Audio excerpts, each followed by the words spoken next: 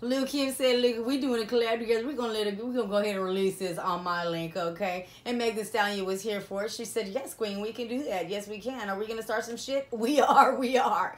With that being said, they released Plan B as a remix, you guys. Lil Kim, Meg Thee Stallion. Who'd have thunk?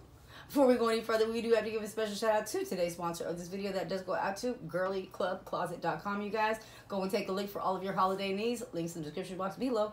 Let's jump into this song, give our thoughts and tears, and keep it pushing, you guys, because look, it's only once in a lifetime that we're going to get a collab as legendary as this one, okay? Because Lil Kim gets in the closet, she comes back out, and she's unrecognizable. At this point, we remember what she looked like last time she made an appearance, and all is well. God, dog. It is what it is.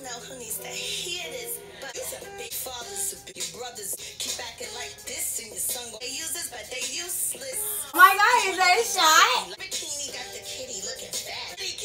Is that a Cardi B blow from the WAP video?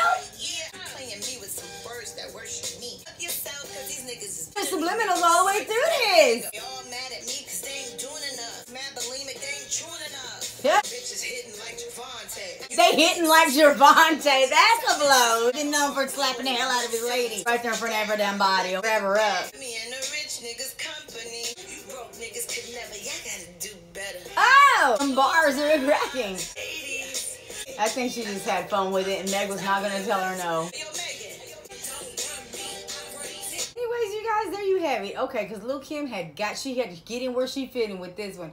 I am gonna say she could have did better. Okay, she could have did better. She could. I'm gonna take her line. I'm gonna use it against her because what I'm going to say is just because you've already made it does not mean that you can sabotage, or just because you have a, a feature on somebody's track that you can just act a damn fool. We do not Sesame Street somebody's collab. I'm not gonna lie.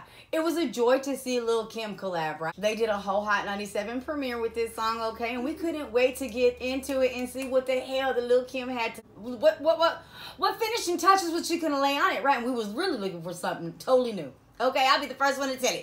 I thought, oh, something new.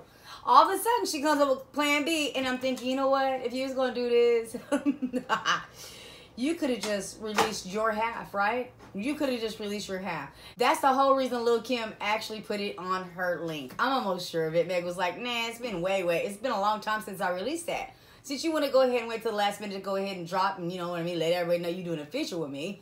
I'm not gonna lie. It gets a little shady on the back end. So, psh, I, I, I'm I'm Team Meg Stallion on this one, right? I am gonna say the Lil Kim just wanted. She had a few things to say, and she thought, why not drop it on Meg's beat, right? It, it is what it is. Which really, that's a Biggie track.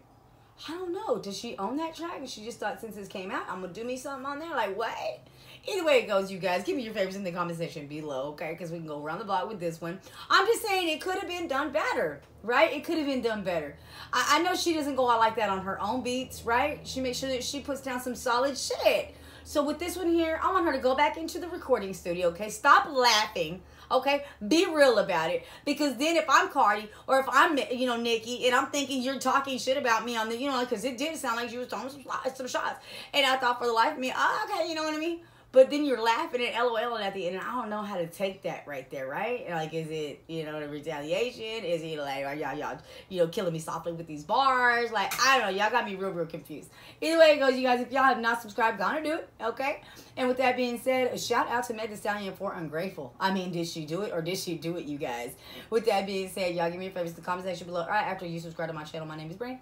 That's all I see. And I'll see you guys in the next ones. Bye.